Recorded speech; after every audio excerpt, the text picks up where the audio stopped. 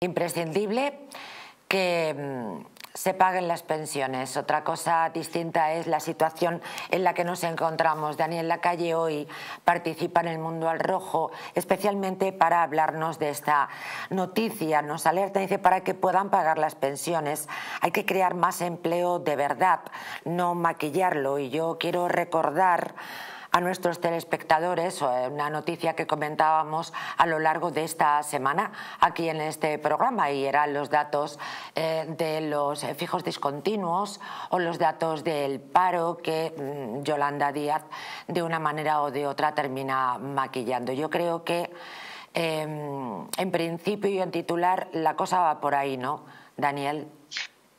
Eh, bueno, si queremos, o sea, el sistema de pensiones como todo sistema de reparto, es una cara de otra parte que es mayor empleo y mayor inversión.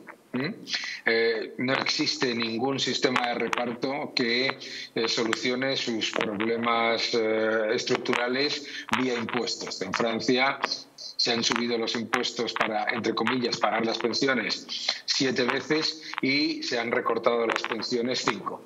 Entonces, eh, la idea de, que se va a solucionar todo el problema del sistema de pensiones aumentando las cotizaciones sociales, bueno, pues ya hemos visto que no funciona, lo estamos viendo porque, entre otras cosas, el déficit de la seguridad social no para de subir, y además el déficit, excluyendo las transferencias que recibe del Estado, que también es deficitario y por lo tanto no debería estar eh, transfiriendo nada, eh, pues es mucho mayor, ¿no?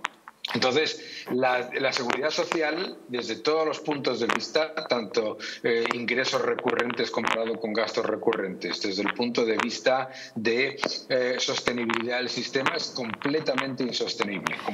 Además, en estos próximos años, eh, toda la generación del baby boom va a empezar a cobrar eh, o a intentar cobrar ¿no?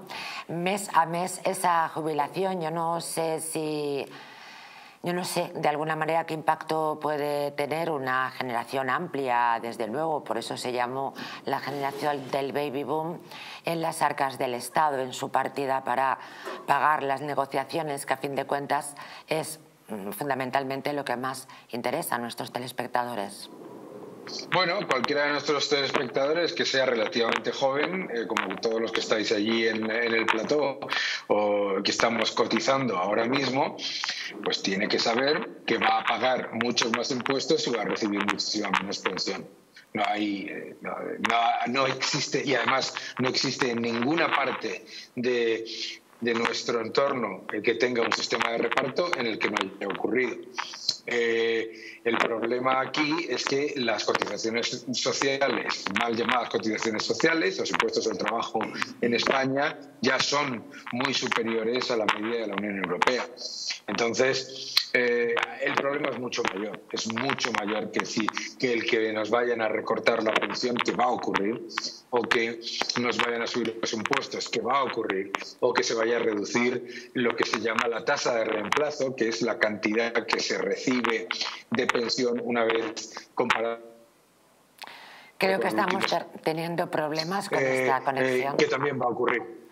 Bueno, Daniel, teníamos un problema de conexión, pero bueno, escuchando, escuchándote, alegría, alegría, alegría que nos has dejado, ¿eh? o sea, pagar mes y cobrar menos, eh, para que lo vayamos integrando, ¿no? Exactamente, eso es lo que va a ocurrir y que y no esperemos otra cosa. Y que todos los excesos que se están dando ahora en el sistema de pensiones... Los terminaremos pagando nosotros. ¿No? Los vamos a pagar y, y, los jubilados que se creen que les han subido la pensión, claro, también.